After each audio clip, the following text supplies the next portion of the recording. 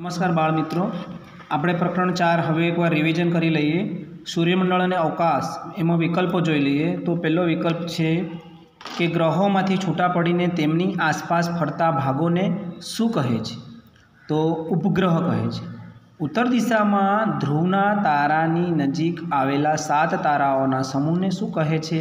તો સપ્તર્ષિ. સૂર્ય અને ચંદ્ર વચ્ચે પૃથ્વી આવે ત્યારે આ સ્થિતિને શું કહે છે? તો એને કહે છે, ચંદ્રગ્રહણ, સૂર્ય પૃથ્વી કરતાં કેટલા ગણો છે? તો તેર લાખ ગણો. આકાશમાં સૂર્ય જે ભાગમાં ખસતો દેખાય છે તેને શું કહે છે તો? ક્રાંતિપુર બરાબર છે? પછી જોઈ લઈએ ખાલી જગ્યા ખાલી જગ્યા પૃથ્વીનો ઉપગ્રહ છે, તો એ છે ચંદ્ર. ખાલી જગ્યાને પૂછડ્યો તારો પણ કહે છે તો ધૂમકેતુને. સૂર્ય અને તેની આસપાસ ફરતા અવકાશી પદાર્થોના સમૂહને ખાલી જગ્યા કહે છે તો જવાબ આવશે સૂર્યમંડળ. ચોથું છે, તારામંડળો પરથી ખાલી ગયા રાશિઓ નક્કી થયેલી છે. તો બાર રાશિઓ નક્કી થયેલી છે. પાંચમું, ખાલી ગયા તારો સ્થિર અચળ છે, તો એ છે ધ્રુવનો તારો.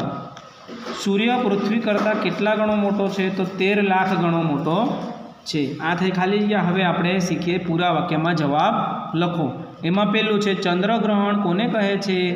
તો સૂર્ય અને ચંદ્રની વચ્ચે પૃથ્વી આવે ત્યારે પૃથ્વીનો પડછાયો ચંદ્ર ઉપર પડે છે, જેથી ચંદ્ર દેખાતો નથી. આ સ્થિતિને ચંદ્રગ્રહણ કહે છે. બીજો પ્રશ્ન છે, સૂર્યગ્રહણ કોને કહે છે? તો પૃથ્વી અને સૂર્યની વચ્ચે ચંદ્ર આવતા પૃથ્વી પર સૂર્યપ્રકાશ જોઈ શકાતો નથી. આ સ્થિતિને સૂર્યગ્રહણ કહે છે. બરાબર છે? ઉપગ્રહો કોને કહે છે?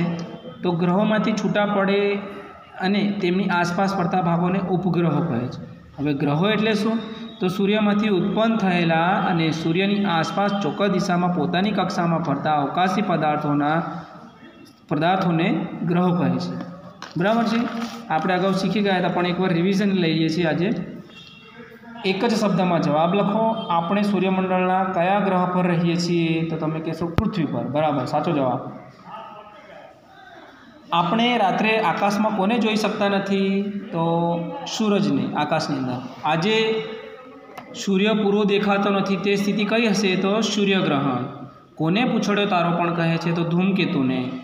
ચંદ્રગ્રહણ કયા દિવસે થાય છે તો પૂનમના દિવસે. સૂર્યગ્રહણ કયા દિવસે થાય છે તો અમાવસના દિવસે. બરાબર છે?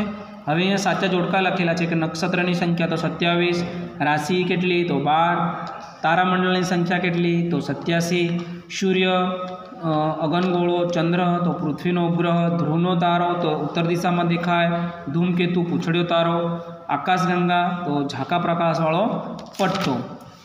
પછી ટૂંકનો દો, સૂર્ય ધબધબતો અગનગોળો છે, તે પૃથ્વી કરતાં તેર લાખ ગણો મોટો છે, તે પૃથ્વીથી ચૌદ કરોડ કિમી કરતાં વધુ દૂર છે, સૂર્યપ્રકાશને પૃથ્વી પર પહોંચતા આઠ પોઈન્ટ પચીસ મિનિટ જેટલો સમય લાગે છે. આ ટૂંકનો આપણે શીખ્યા. ચંદ્ર. તો ચંદ્ર પૃથ્વીનો ઉપગ્રહ છે, તેની વય ચારસો સાહીઠ કરોડ વર્ષ છે. તે પૃથ્વીની ત્રણ ત્રણ ત્રણ લાખ ચોર્યાસી હજાર ત્રણસો ને પાસઠ કિમી દૂર છે.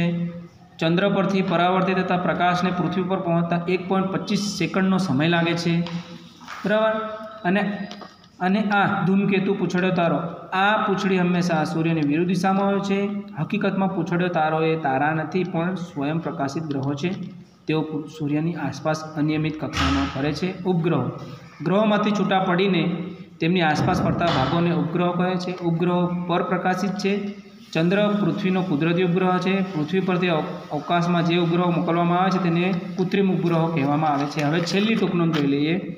આકાશગંગા આકાશમાં એક છેડાથી બીજા છેડા સુધી ઝાંકા પ્રકાશવાળો દેખાતો પટ્ટો એટલે આકાશગંગા આકાશગંગાને તારા વિશ્વ, મંદાકિની કે સ્વરગંગા તરીકે પણ ઓળખવામાં આવે છે.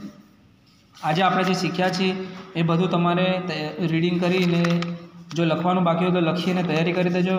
પછી આપણે ટેસ્ટ લઈશું. બરાબર છે? સોમવારે અથવા બુધવારે, જે જે દિવસે વારો આવશે તે દિવસે આનો હવે આજે શનિવાર છે. આજે તમારે આ તૈયાર કરી દેવાનું છે. ફરી એનો ટેસ્ટ લેવામાં આવશે. ત્યાં સુધી મને રજા આપશો.